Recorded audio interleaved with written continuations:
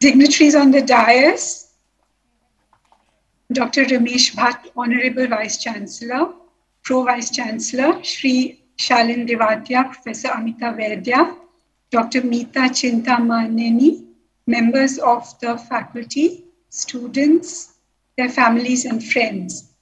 Last year's IGIDR batch wrote to me that since they were not able to give a physical farewell to their seniors, they wanted me, they wanted to set up an e-wall of messages and asked me to write one message to put up on this e-wall.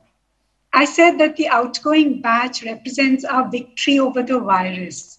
They were able to graduate despite COVID 19. I am very happy to join the convocation of the Sarla Anil Modi School of Economics and congratulate all of you for a similar victory. The Vice Chancellor and Director have told us how the university met the challenges. It is wonderful to hear about the many achievements of NMI, MS, and SAMSOE in a relatively short time. A time of uncertainty and change in education is an especially difficult time for the young. When you are 20, two years can seem a lot, but in a career of 50 years, it washes out. But provided you keep working and learning. Something like COVID 19 teaches valuable lessons that your safety depends on that of others, that change is the only constant, that difficulties will come, but it is possible to adjust, adapt, and overcome. Every crisis brings new opportunities. For example, this uh, Zoom address to the convocation, this mixed ceremony that you are having. I was watching the webcast on your website. It was really heartening to see the way social, the way society came together and rose to the occasion. Social media helped in many ways. and education in economics gives you powerful tools of analysis, ways of thinking with rigor that is much more useful than just banks of knowledge, especially when information keeps changing and is generated in very large amounts. SAMSOE's emphasis on learning by doing is one of the best ways of learning. I will share some of my experiences in working and learning, since they might be useful to the outgoing batch. Both concepts and context matter. I often use abduction, which is a way of thinking where you find the framework that is consistent with new facts being generated which would otherwise be puzzling. Abduction lies between induction and deduction and shares features of both. It uses facts as well as logic. So it's a very useful way to generate many ideas and solutions for problems.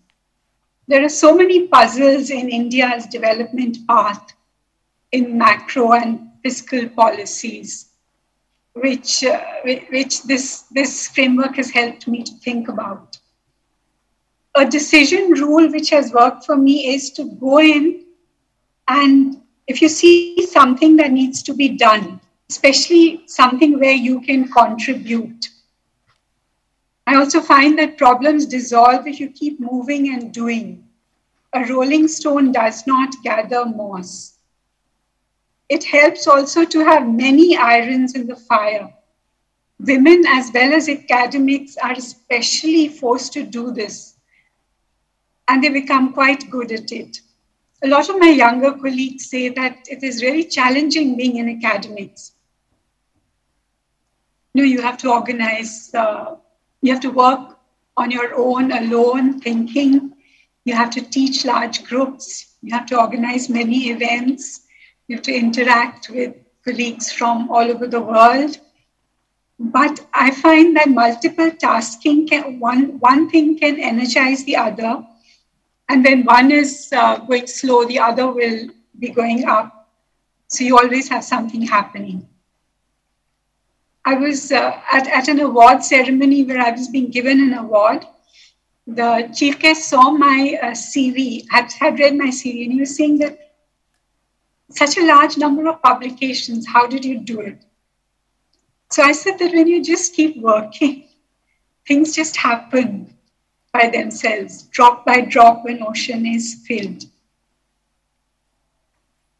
So that is the advice I would give the young. Just keep working on things that interest you, that set you thinking, that can contribute to society. It may be a time of challenges for the young, but it is also a time of great potential for them, especially in India. India's major growth advantage comes from its demographic profile. In an increasingly aging world, there will be a premium on youth, talent, and entrepreneurship. India has all this in abundance. A European professor who was visiting us recently, this is before COVID, when everybody was locked inside their houses, was saying that uh, when you come to India, you see so many young people. That is not there any longer in Europe. It's a similar story in Japan. I think America does well because it's more open to immigrants, and a lot of Indian students and IT experts, etc., go there. So this energy of youth can find opportunities provided there is some basic support. A steady improvement in different kinds of infrastructure and systems provides this support. For example, recently one puzzle, as I said, there are puzzles in the stylized development facts that make me start thinking. So one of the puzzles recently is that agricultural exports have risen sharply. You know, I mean, we always we, we keep saying that agriculture is doing so badly. There's so much poverty. We've seen the farm agitation.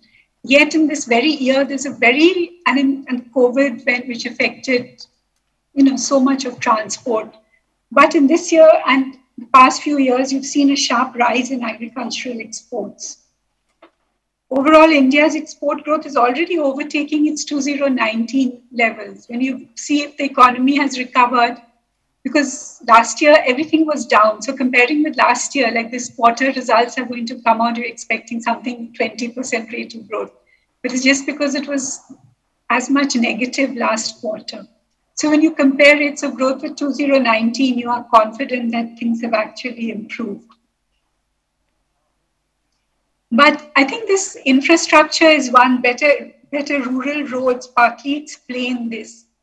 So, so just as in sports, more openness and exposure to the world, better coaching and training infrastructure have given India its largest tally yet in Olympic medals. So again, the young has shown us what they can do when they get the infrastructure. And I'm happy to learn about all the facilities and the opportunities that NMIMS is giving the young. And to see so much, uh, you know, thinking and advancement in India's uh, academic institutes. Because in India, we have to strain against many obstacles. And as they dissolve, the same effort can achieve so much more. When I was doing my PhD, which was many, many years ago in Bombay University, then um, I had to do a computer simulation, and Bombay University had a lot of money, uh, but they were waiting for to buy computers, but they were waiting for computer prices to fall, so they were not buying. and I was wondering now where do I do? So I went to the Tata and the TIFR, you know, to see if I could work over there. And then finally, my son was small then, and we bought a small ZX Spectrum. I don't know if any of you are familiar, which is used for games. And I could actually work out my simulations on that. Now, at a click of a button, we can do so much. But sometimes we joke, for example, in econometrics, that students, because they can do things so simply, they don't really understand um, you know, in econometrics, you can just do Alt F4 in a software and get reams of output. So then you don't understand the data as well. You don't think as much about what these tests are.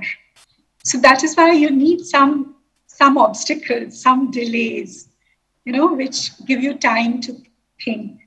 So, um, so true education also teaches tolerance, openness, respect for diversity, and for facts. Such education is necessary to improve the national debate so that it sheds more light than heat. People listen to and learn from each other rather than talk past each other in set ideological positions. So the other uh, concept I find very, very useful is, is that of balance, you know, between extremes, because otherwise you're not thinking, you're not looking at the data, you're not learning. Your positions are all preset. So this youth with this such an education can best preserve the country's heritage as well as its institutions as they work towards a much better future for themselves and for the country. This ceremony is giving you a badge of such an education from one of the best institutions. I wish you all the best in the years ahead. It's, it can be a wonderful journey. You don't know how the country will change, and you will be helping, you will be contributing and participating in all this. So keep learning and doing. Best wishes. Thank you.